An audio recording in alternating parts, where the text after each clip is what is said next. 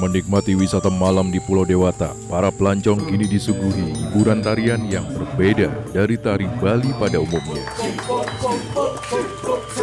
Mengusung konsep Bali Tempo Dulu, pementasan kolaborasi tari bertema Tri Bali Spirit. Bertempat di Jabapura, Ratu Sakti, Banjar Tangga Yuda, Desa Bongkasa Pertiwi, Abian Sebang. Pencahayaan panggung juga dikemas seminim mungkin, hanya diterangi sinar dari obor agar pengunjung seolah-olah menyaksikan pertunjukan tari Bali di era tahun 50 atau 60-an. Di tengah kegelapan malam, cerita dari epos Ramayana pun mengalir di tengah pertunjukan tari kecek. Tak sampai di situ, penonton justru digiring menuju puncak pertunjukan dengan menyaksikan tari Sang Hyang Jarana. Berbeda dengan tarian Bali lainnya, tari Sang Yang Jaran ditarikan dalam kondisi penari mengalami kesurupan.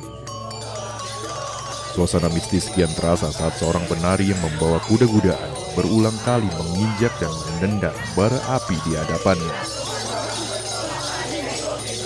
Kita ini hanya mengkolaborasikan antara Cak dan Sang Yang Jaran. Seharusnya kan uh, agar menarik pertunjukannya uh, dikasihlah Sang Yang Jaran itu. Hmm. Itu konteksnya agar apa namanya itu pertunjuknya kelihatan lebih matang dan wow gitu. Unsur mistisnya ya sedikit menegangkan ya karena kan uh, kalau dia dalam keadaan sadar mungkin nggak bakal berani dia untuk menginjak api atau tadi ada yang sampai melahap api itu kan nah nggak mungkin berani kemungkinan seperti itu di sisi lain, para penari mengaku sangat gembira bisa kembali tampil menghibur warga dan wisatawan setelah vakum hampir dua tahun akibat pandemi COVID-19.